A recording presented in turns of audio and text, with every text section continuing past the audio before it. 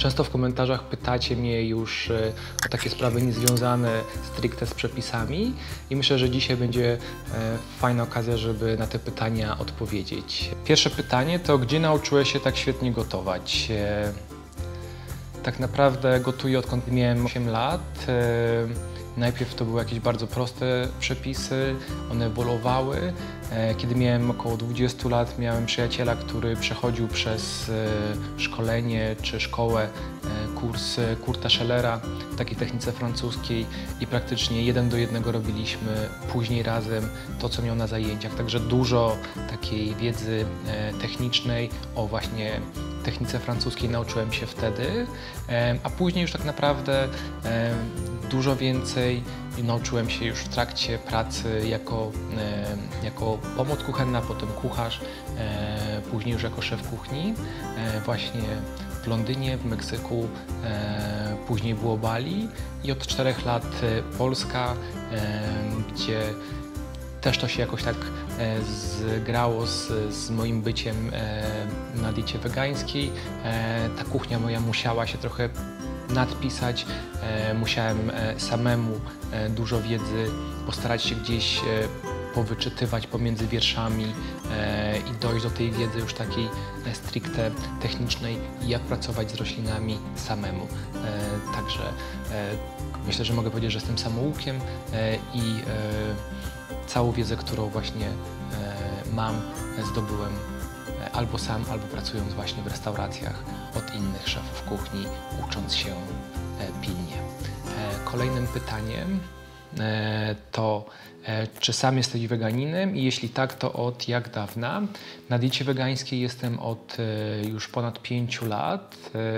Co prawda nie zawsze udaje mi się zachować taką stuprocentową dietę wegańską, szczególnie w podróżach, kiedy trudno jest znaleźć coś ponad chlebem i może jakimś tam e, sosem, który byłby wegański. Wtedy e, skupiam się w kierunku właśnie e, bardziej wegetarianizmu, ale jeżeli jestem w mieście, jeżeli jestem gdzieś, gdzie mam dostęp do kuchni, gdzie mam dostęp do zakupów, no to jak najbardziej preferuję e, dietę wegańską. I też chciałbym powiedzieć o tym, że mm, ta nasza dieta e, albo podróż wegańska e, nie powinna być taką historią bardzo restrykcyjną. Trzeba też mieć dużo takiego serca i miękkości w stosunku do naszych własnych wyborów i tego, że czasami popełniamy błędy, czasami nie jesteśmy tak idealnie stuprocentowo wegańscy, jakbyśmy chcieli, ale nie trzeba się za to e, ganić i, i, i, sobie robić cały czas wyrzutów, tylko zaakceptować to, że to jest życie, że to jest podróż, e, którą przechodzimy i ważna jest jakby cała droga. Mamy długie życie przed sobą e, i dużo jeszcze takich wyborów pewnie przed nami e, stanie, także bądźcie e, wyrozumiali i nie każcie się wtedy, kiedy na przykład e, nie do końca stuprocentowo wegańsko wasze posiłki będą wyglądać. Pytacie się o to, czy prowadzę jakąś restaurację. E, od niedawna, od kilku miesięcy e, udało nam się otworzyć z moimi przyjaciółmi z magazynu Usta e, wspaniałe miejsce na Saskiej Kępie, które nazywa się Eden Bistro, gdzie staram się pokazywać taką troszeczkę bardziej wyrafinowaną stronę wegańskiej kuchni, ale też bez, bez przesady nie jest to fine dining. Myślę, że mamy taki fajny balans właśnie jakości i, i, i ciekawości tych dań w stosunku do i, i, poziomu cenowego, E, i dostępności i e, takiej łatwości w przyswajaniu takich dań. Kolejne pytanie to, czym zajmowałem się zanim e, zacząłem gotować na YouTubie. E, YouTube to tak naprawdę dwuletnia historia, natomiast kucharzem jestem od e, prawie 12 lat.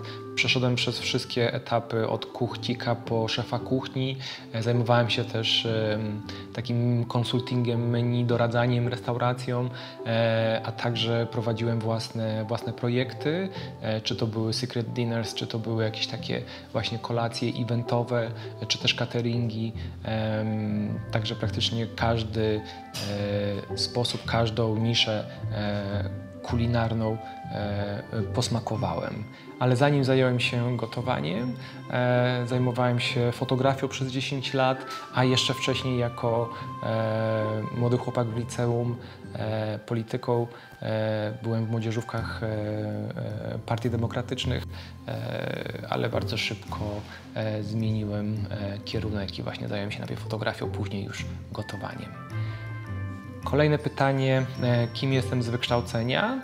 Z wykształcenia praktycznie nie jestem nikim, bo e, jedynie zacząłem studiować nauki ekonomiczne na Uniwersytecie Warszawskim, nigdy ich nie skończyłem. Potem em, robiłem kursy, brałem udział w, w szkołach fotograficznych, e, a, a, a już później przyszedł etap gotowania. To też również e, nie jest to mój wyuczony zawód, tylko e, zawód, który po prostu uczyłem się w trakcie pracowania. I ostatnie pytanie, czy mam dzieci albo jakieś zwierzątka? Nie mam ani dzieci, ani zwierzątek, chociaż bardzo bym chciał mieć e, psa i to najchętniej takiego psa wziętego ze schroniska. Natomiast e, tryb życia i to, że e, mam też gdzieś e, często wyjazdy w planach czy perspektywie, to na razie niestety nie jestem w stanie z, zdecydować się na posiadanie pieska, e, bo strasznie by mi było chyba żal zostawać go e, gdzieś w schronisku albo po, po znajomych. To było sześć takich najczęściej zadawanych pytań. Dziękuję za, za te pytania. Mam nadzieję, że e, troszeczkę uchyliłem rąbka tej tajemnicy, kim jestem poza gotowaniem. Mam nadzieję, że zobaczymy się niebawem przy okazji może kolejnego przepisu albo może w mojej restauracji Eden Bistro. Do zobaczenia.